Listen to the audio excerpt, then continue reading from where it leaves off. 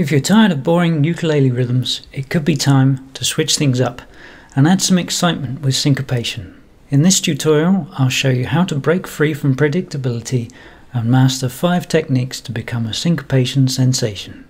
This video accompanies my article in Uke magazine, which you can buy in print or digital formats from worldofukes.co.uk. So what is syncopation?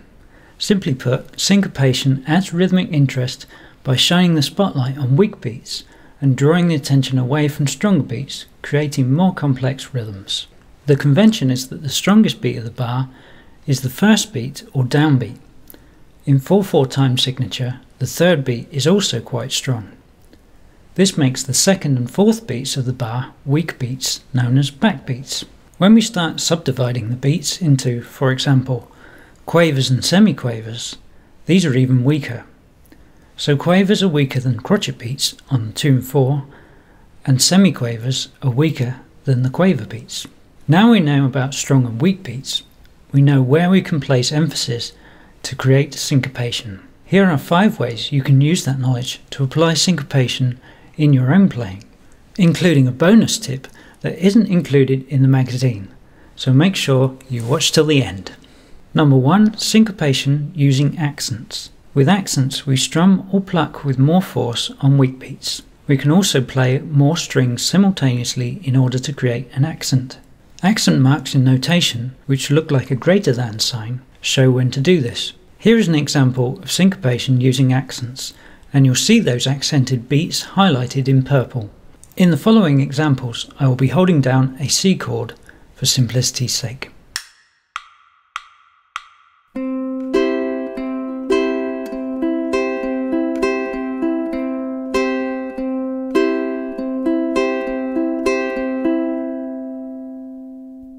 If you want your own copy of the tablature, you can download a PDF from my Patreon page.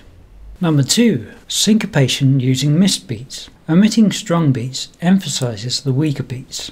On the ukulele, this can be done by stopping the strings with the right hand, and this is shown with rests in sheet music.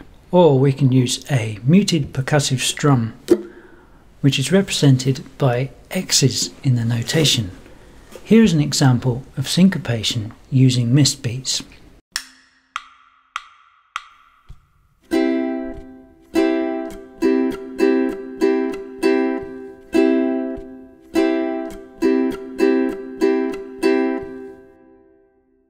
Number 3. Syncopation using suspension.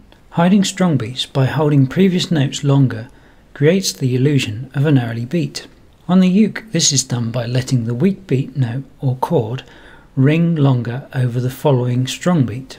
Sheet music uses ties to show when to hold the notes longer, connecting two notes together to indicate combined length.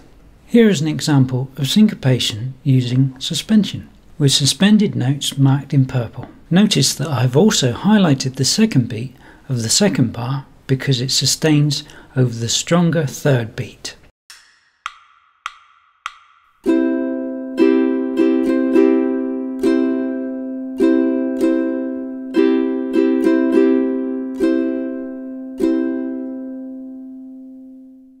Number 4. Syncopation using displaced beats, or offbeat syncopation. Offbeat syncopation places notes between strong beats, often displacing the rhythm by half a beat, or a quaver. When playing this on the ukulele, paying attention to note placement and counting beats is important. Standard note values are used with no special markings and can be combined with tied notes or suspension. Here is an example of a strummed offbeat pattern with offbeats marked in purple.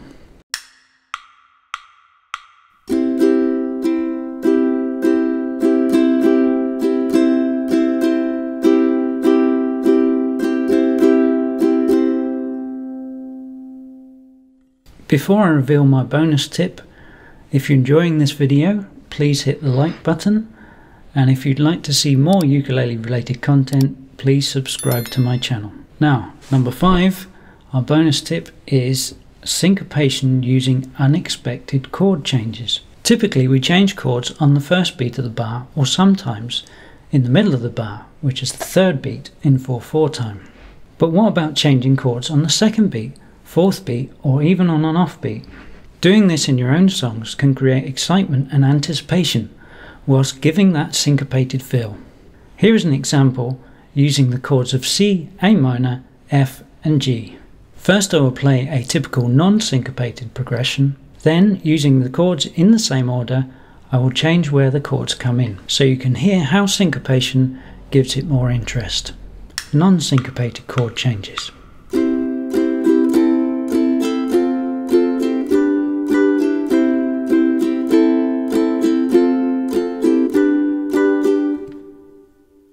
Syncopated chord changes. I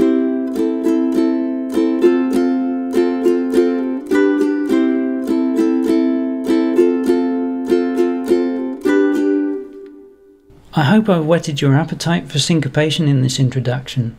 Let me know in the comments what other music theory related topics you would like to learn more about.